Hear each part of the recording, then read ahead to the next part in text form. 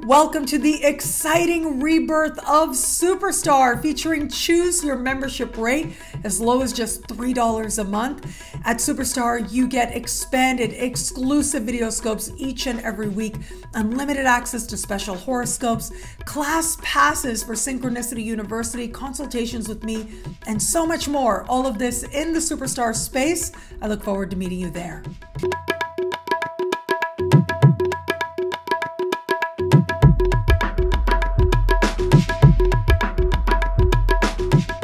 Hello, fabulous superstar Aries. Welcome to your horoscope for the month of January 2021.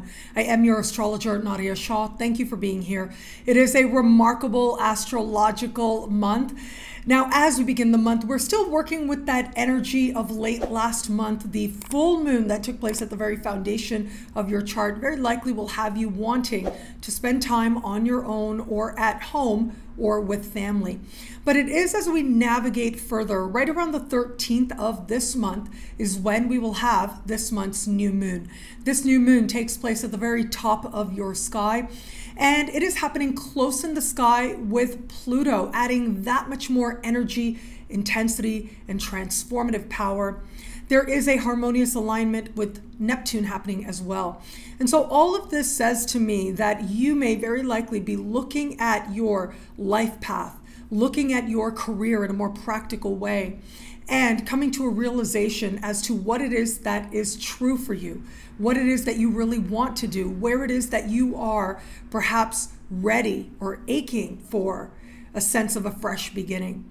For some, this is going to be a powerful new beginning that ultimately aligns you with life purpose. But for others out there, especially where it is that you might have invested a whole lot in a particular path, this is going to be the realization of not just what's working, but more importantly, what isn't working and perhaps what it is that no longer feels right, no longer feels authentic to continue to pursue. And in that way, for some Aries out there, this energy can be challenging. And yet there's promise, there's faith, thanks to that beautiful alignment with Neptune. Everything doesn't have to be clear just yet, but this is a powerful energy that can align you with a higher, more loving vision for your life as part of the mystery. Now, as we navigate further, it is going to be on the 28th of the month that we will have this month's full moon. This full moon is taking place in a very heart oriented part of the sky for you, having to do with what the heart truly desires. Now, this full moon is going to be speaking in a conversation of tension with Uranus and standing across the sky from Jupiter. And so it is going to be at this time where you're asking yourselves questions of fulfillment where is it that you feel genuinely creatively fulfilled?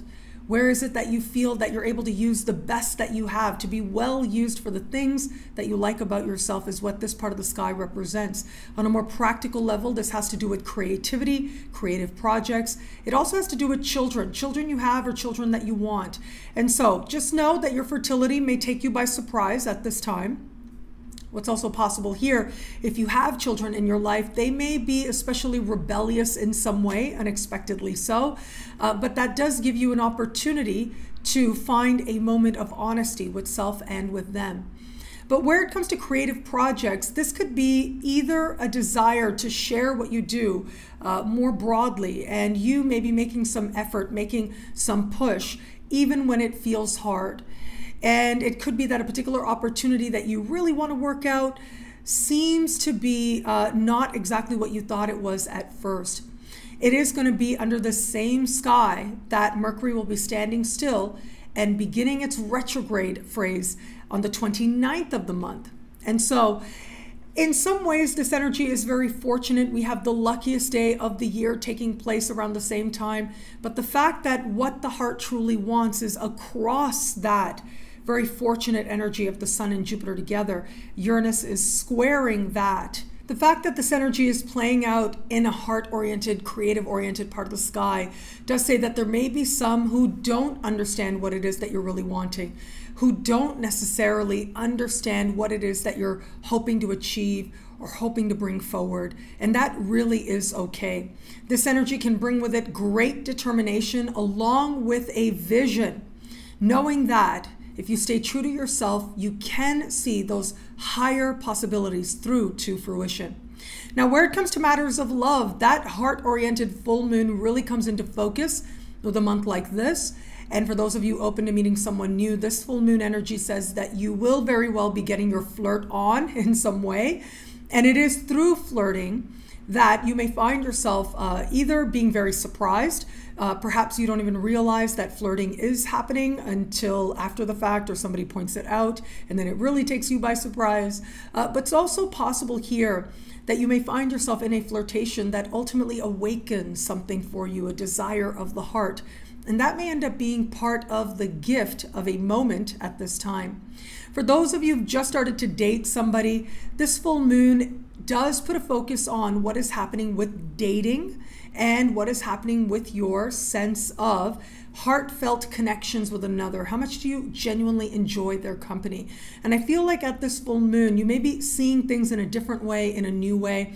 With Uranus involved, the energy can be very all or nothing there is a sense of you seeing what's good and maybe what's not good, seeing what's less than ideal.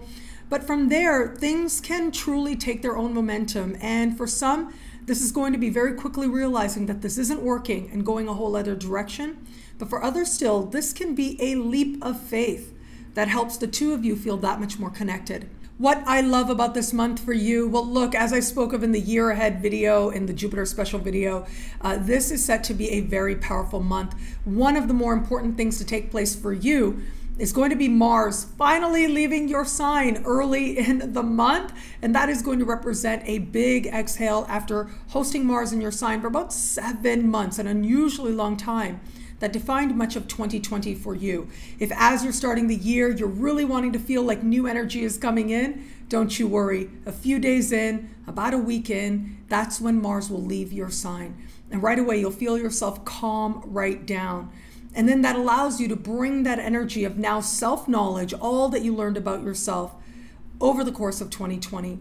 And now bring that to your understanding of legacy and destiny with that new moon in the middle of the month, which ultimately leads you in a direction of heart and being more deeply honest with yourself. It is from that place of genuine honesty that you find yourself then aligning with the things that you know will bring genuine and meaningful joy. Well, thank you so much for watching. You can get a video like this each and every week by logging on to the brand new Superstar experience at NadiyaShahSuperstars.com. For as low as just $3 a month, you can get expanded exclusive video scopes for each and every sign. You get instant access and so much more. All of this in the Superstar space. I look forward to meeting you there. It'll be a great month. Enjoy.